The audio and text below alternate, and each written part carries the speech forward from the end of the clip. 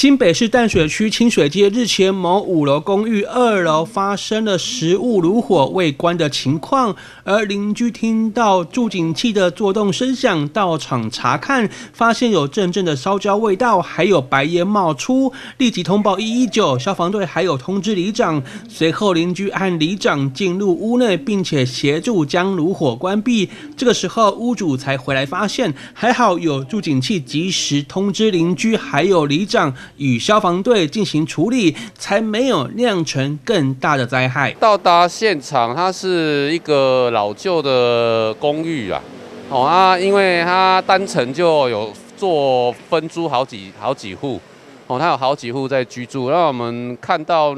走到中廊里面，它是有冒白烟，哦，那啊，那邻居表示早前他已经先行入内。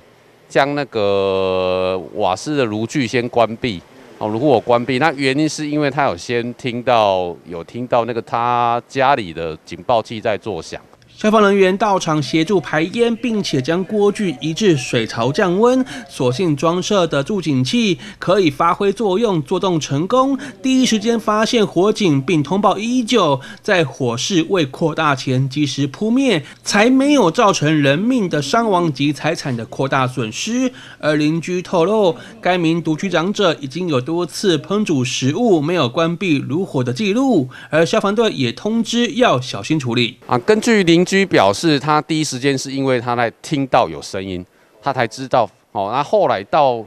到这一户呃有冒烟的这一户的时候，才闻到味道，所以他是其实是因为警报器的这个声音先警示他哦。那助警器具有由它是警报作用是由声音哦来触发那我们的那个警示效果。那通常。即便在睡睡眠的时候，其他五感都是很脆弱，只有听觉是最敏感的，所以它经由听觉的方式来触发哦，它警示那个民众，我们第一时间该要逃生。哦，或是发现那个有火灾的状况。消防队表示，该住户今年装设助警器发挥功能，于第一时间提醒，借此也再度呼吁五楼以下的老旧公寓、住宅都要装设助警器，而且最好每个居室和重要通道都要装设一个，以利火灾发生初期迅速预警，才可以协助住户顺利逃生。为了强化独居老人火灾以及预防作为，多一分防火准备，也可以少一分生命的财产损失。